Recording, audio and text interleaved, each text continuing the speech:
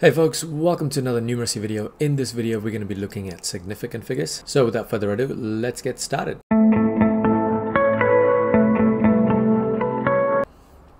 So question one, what we've got here is 1,234.56 cubic centimeters. Uh, this is, uh, we want this to two significant figures.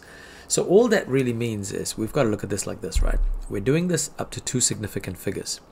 So we're really only focusing on the first two numbers. But what we also need to know is do we need to round up that number or round down that number? And so to do that, what we're going to do is look at the number straight after that 2 there. Now, notice how that's 3. So it's actually less than 5. So the answer for this question number 1 is going to be 1,200 uh, centimeter cubed. You got the second question, which is uh, 567.89 kilometers and we're rounding this distance to one significant figure. So because it's to one significant figure, we are only looking at the first number, which is 5.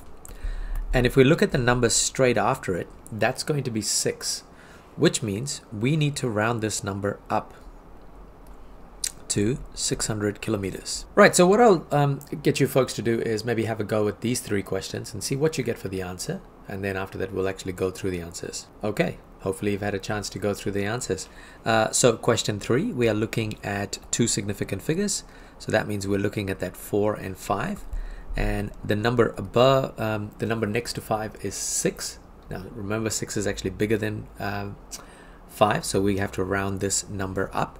And when we round this up, we're gonna get 4.6 zero zero gram. And then looking at uh, question number four. Question number four is we're rounding the speed up to two significant figures. So with two significant figures we're looking at 34 sorry 3 4 and then the number straight after it which is um, 3 so that's actually less than 5 so we can actually say 340 340.00 meters per second. Now, of course, you might be sitting there thinking, hang on, why are we actually writing this as 340.00? Shouldn't we just write this as 340?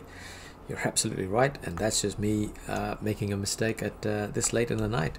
So we're going to put that as 340 meters per second, and even the previous one, we should just leave that as 4.6 grams.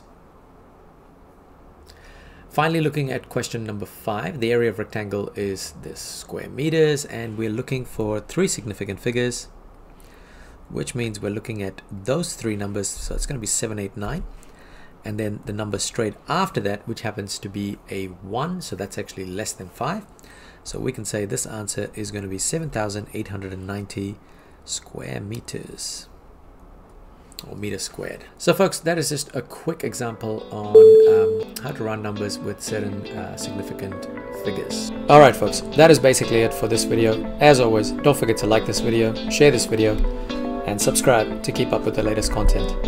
Now, there should be a couple of playlists popping up here and here. Great material for revision, and as always, thank you for watching.